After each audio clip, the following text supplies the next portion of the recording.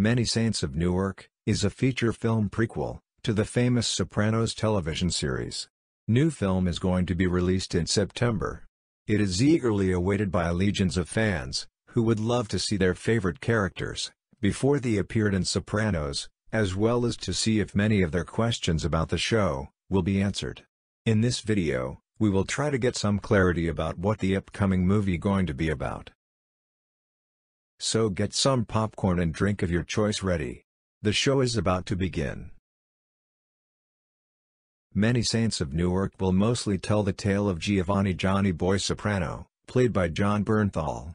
Since it is about his father, it is likely that young Anthony Soprano, will be getting plenty of screen time, so we will get to find out how he first got involved in his father's business.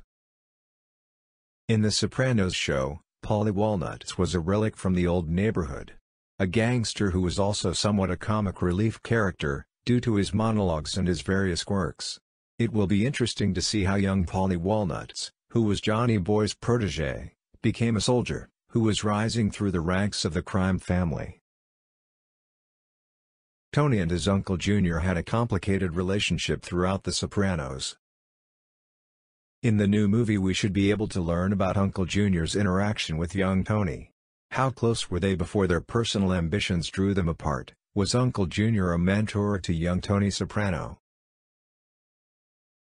Christopher Moltisanti's father, Dickie will be portrayed by Alessandro Nivola. All we know about Dickie, is that he was a tough soldier in the Soprano crew, who served in Vietnam, then went to prison soon after. Christopher said that his father, struggled with drugs and alcohol, but Tony remembers the man as being a stand-up guy, who once took out a whole crew from New England.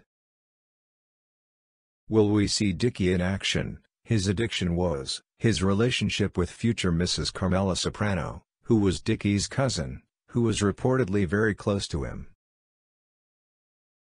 Every Sopranos fan, remembers Uncle Junior reminding Tony that he never had the makings of a varsity athlete, Tony's high school football career is often mentioned, and Tony gets recurring dreams about his old high school football coach.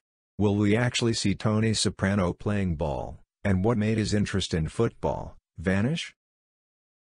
We know that Tony Soprano respected Hesh, who was a close friend of Johnny Boy Soprano. Will we learn more about their relationship? Will we see younger Hesh in action? Most of all, we just want to visit with the lovable cast of mobsters from Sopranos, one more time. So let's get ready for the premiere of Many Saints of Newark. I am hoping this film will restart the Sopranos franchise for many years to come.